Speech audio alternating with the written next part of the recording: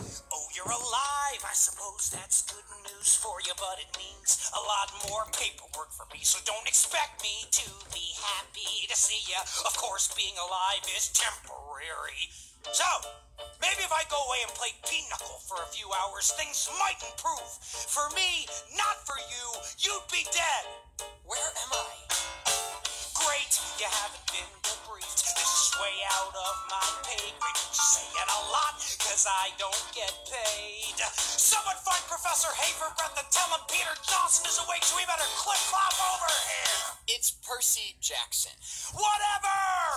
Just another terrible day. At Camp Half Blood, where everything's the worst. Just another terrible day.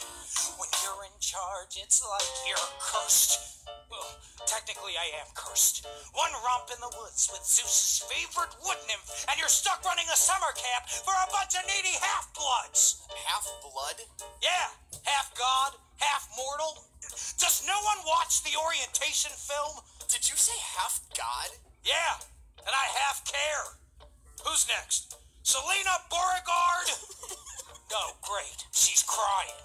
I was walking in the strawberry fields with Charlie totally normal. And then I kissed him, and all of a sudden he started growing sunflowers everywhere.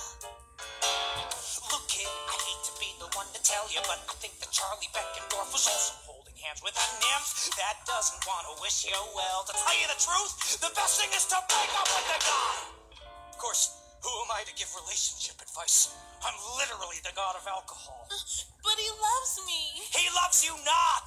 Next! Another terrible day. I Camp Half Blood where everything's the worst. Just another terrible day. I'm the god of wine and I'm dying of thirst. Wait, did you say you're a god? Dionysus, god of wine? The gods are real. Yippee skippy. Ah, Katie Gardner, I see you've injured your arm. I fell off a Pegasus. You don't have flying lessons on Thursdays. You have archery. Those arrows are made of wood. Wood comes from trees. I refuse to participate in any activity that encourages the senseless slaughter of our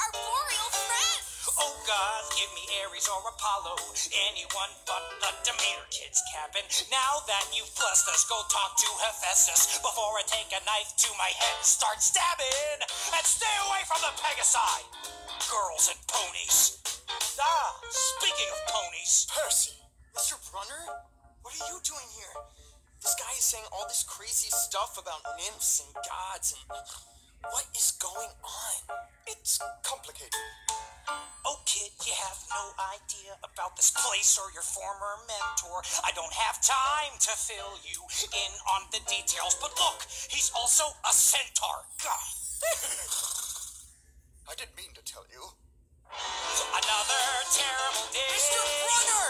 I can't have You're a horse? Everything's the worst. Just another terrible day. What is happening? You can hate it here, but I hated it first. Muck and mud. Another terrible day. Oh, God. I need a drink. Enjoy your stay at Camp Half Blood.